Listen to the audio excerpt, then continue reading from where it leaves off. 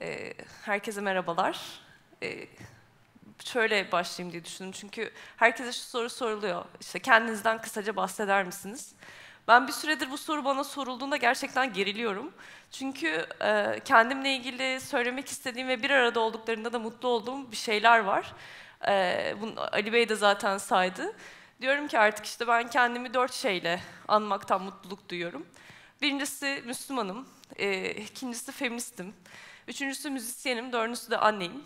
E, bunların tekiyle bir yerlerde bulunduğumda, bir tanesiyle bir yerlerde bulunduğumda gayet mutlu bir şekilde hayatıma devam edebiliyorum aslında.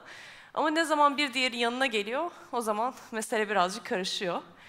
Ee, kendimi bildim bileli bu kimliklerden hayatıma giren şey Müslümanlık. Kendimi bildim bile inan, inanıyorum ee, bir Allah'ın varlığına, peygambere. Ee, 12 yaşında da başımı örtmeye karar verdim. Ee, genelde bu cümleden sonra kendi kararınız mıydı diye soruluyor. Ee, işte evet insanlar ne kadar kendisiyle ilgili bir şeylere karar verebiliyorsa o kadar kendi kararımla karar verdim başımı örtmeye.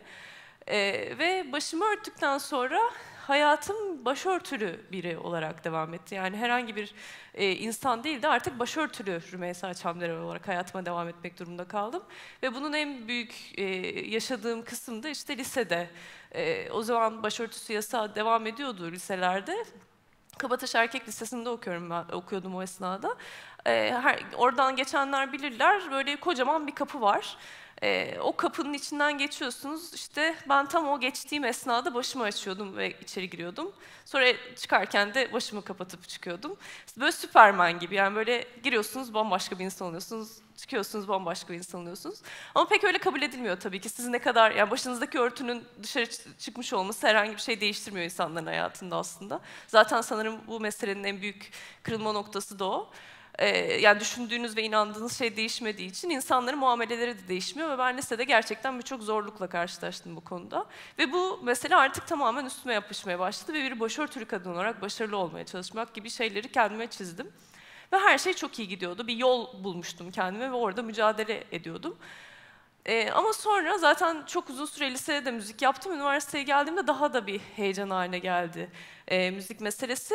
Ve ilk e, orada folklor kulübünde sahneye çıktığım sene, yıl 2007, daha yeni 18 yaşımı basmışken, e, şöyle bir haber oldu. Boğaziçi'nde tuhaf şov, türbanlı gitarist de sahnede. E, yani gerçekten e, o sabahı hatırlıyorum, hiç unutmayacağım sanırım. E, evden çıktım, yolun üstündeki bakkalın gazetesin, gaz, Hürriyet gazetesi manşetinde kendimi gördüm. Böyle elim ayağım titredi falan. Babam ne diyecek, annem ne diyecek, evden biraz uzaktayım ama ne yapacağım falan böyle. İşte sonra babam aradı şey dedi. Yani kızım sakin ol. Telefonda telefonunu açma bugün kimseye. İşte hiç kimseye bir şey söyleme. Adında haber yayınlarlar. Yani hep başımıza gelir böyle şeyler diyorduk sen müziğe başladığından beri ama biraz erken oldu. Kendine dikkat et dedi, kapattı.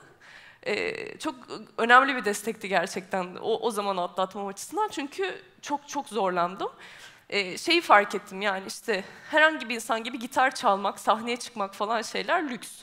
E, benim türbanlı bir gitarist olarak hayatıma devam etmem ve bu konuda e, örnek olmam vesaire gibi şeyler gerekiyor. Ve bu misyonu kabul ettim. E, gerçekten kendi adıma çok e, zor bir süreç yaşadığımı düşünüyorum o zaman için. Sonrasında da hatta şu an buna kadar neredeyse Google'da türbanlı gitarist yazıyorsunuz, benim resimlerim çıkıyor falan. Ee, yani umarım daha fazlası da olur ama hala neredeyse böyle bir şey yaşıyoruz ne yazık ki. Ee, yani ilk çatışma böyle oldu. İlk hayatımdaki karmaşa böyle olmuş oldu. İkinci karmaşa da feminizmle buluştuktan sonra oldu. Ee, ben yine üniversitenin ikinci yılında bu sefer e, Boğaziçi Üniversitesi'nde okuyordum. Ee, zaten Boğaziçi, baş, Boğaziçi'nde başörtüsü yasağı hiçbir zaman e, diğer üniversitelerde uygulandığı gibi uygulanmadı. Ee, daha böyle bir şekilde kamuflajla vesaire üniversite öğrencilerini korudu bir şekilde. Ama bir sene işte rektör değişikliğinden sonra bizi kapıdan almamaya karar verdiler. Bir hafta boyunca okula giremedik. Daha doğrusu beraber eylem yaparak işte e, arkadaş yani 100 kişi birlikte gelince insanları tutamayacağı falan şekillerde böyle şeyler e, bularak içeri girdik. E, o süreçte ben genel e, politika yapmaya başlamıştım, aktivizmle tanışmıştım ve farklı görüşlerden insanlarla bir araya geliyordum. Bu e, farklı görüşlerden insanların da büyük kısmını feministler oluşturuyordu. Ve e, o feminist arkadaşlar bana şunu söylemişti. Ve benim için gerçekten önemli bir dönüm noktalarından biri de o oldu.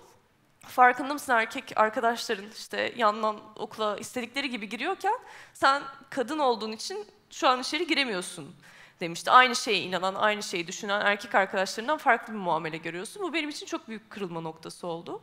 Feminizmle tanıştım. Ee, işte Hooks'un Feminizm Herkes İçindir kitabını okudum. Çok şey değişti hayatımda. Ee, ve feminizmle tanıştıktan sonra da seküler e, arkadaşlarımla birlikte örgütlendim, eylemlere gittim vesaire. Ee, ama bir yandan sürekli bir şeyin eksikliğini hissediyordum. Çünkü ee, mesela bir işte çok yakın zamanda da çok fazla gündeme geldi. İşte bir hoca çıkıyor, işte kadınlar şunu yapamaz diyor. İşte, e, işte erkekler kadınlardan üstündür diyor. Bir şey diyor yani. Benim diğer arkadaşlarımla birlikte biz sinirleniyoruz bir tür ama ben ikinci bir tur bir şey daha yaşıyorum. Yani ona cevap verme ihtiyacı hissediyorum. Çünkü onun öyle bir şey olmadığını düşünüyorum. Öyle bir şeye inanmadığımı düşünüyorum. Benim inandığım dinin böyle bir şey olmadığını düşünüyorum ve buna dair bir şeyler söyleme ihtiyacı hissediyorum.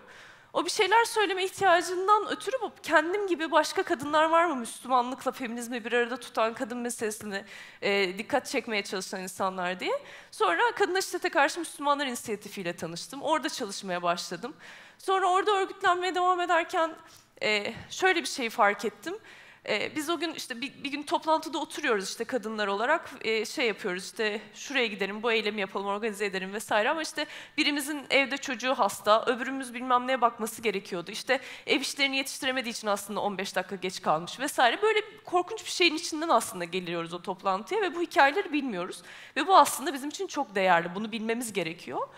E, bu hikayeleri nasıl anlatabiliriz diye düşünürken biz bir blog başlattık. İsmini de Reçel koyduk e, Dücan Cündoğlu'nun 90'larda yazdığı bir yazıya referansla. Çünkü o şey diyordu işte Müslüman kadınlar artık evden çıkıyor, reçel bile yapamıyorlar e, diyordu. Biz de reçel yapamıyoruz ama yazı yazabiliyoruz dedik ve yazılarımızda bir blog kurduk.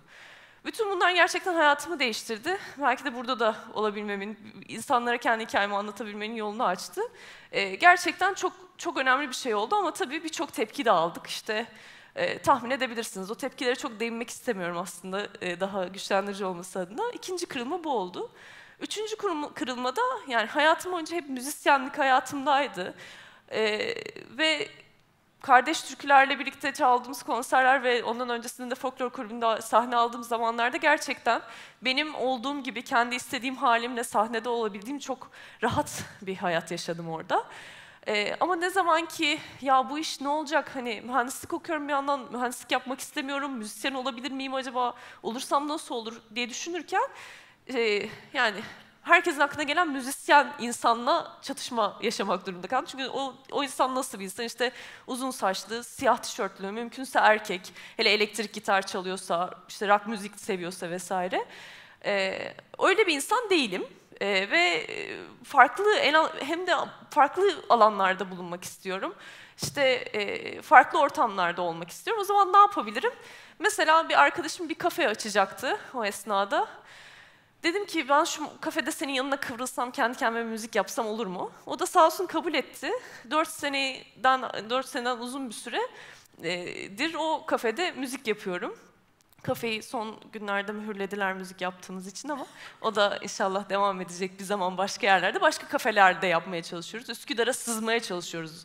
E, farklı müzikleri dinlemek isteyen insanların nasıl alanlar oluşturabileceği üzerine. Yani aslında yeni bir şeyi, yeni bir yolu açmak üzerine bir mücadele vermek gibi bir noktaya savruldum.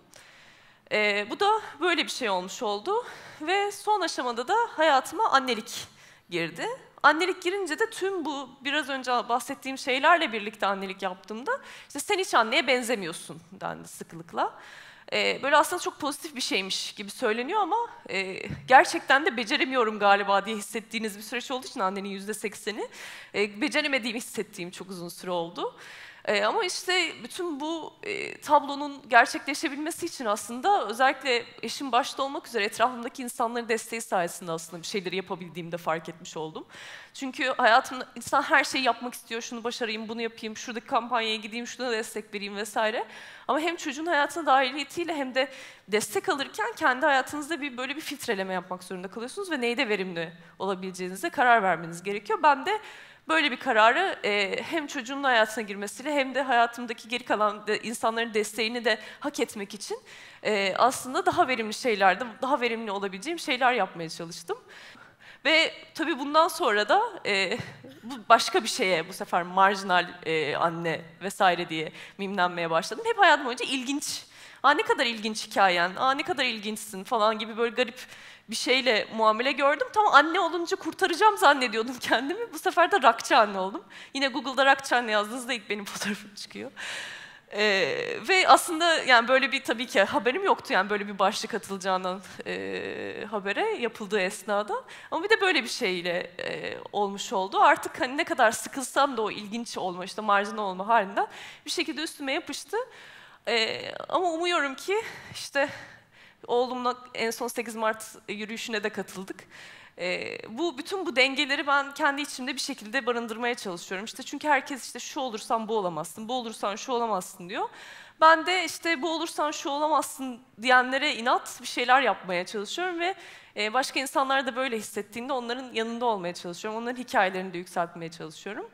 E, benim hikayem böyle biraz da e, size gitar çalmak istiyorum. it is a really nice.